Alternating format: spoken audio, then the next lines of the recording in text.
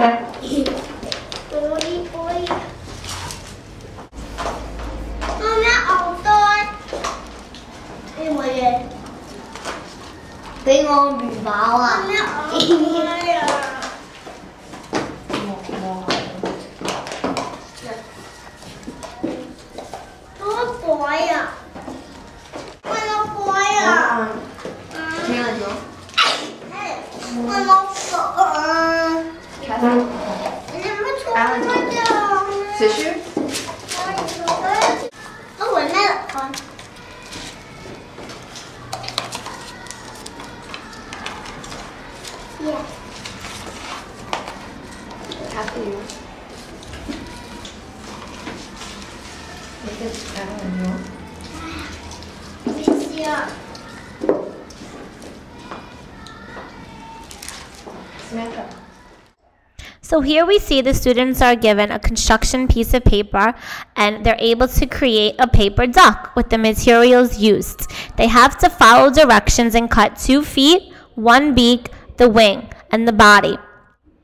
Now we see that the students are learning the new sight word blue, B L U E.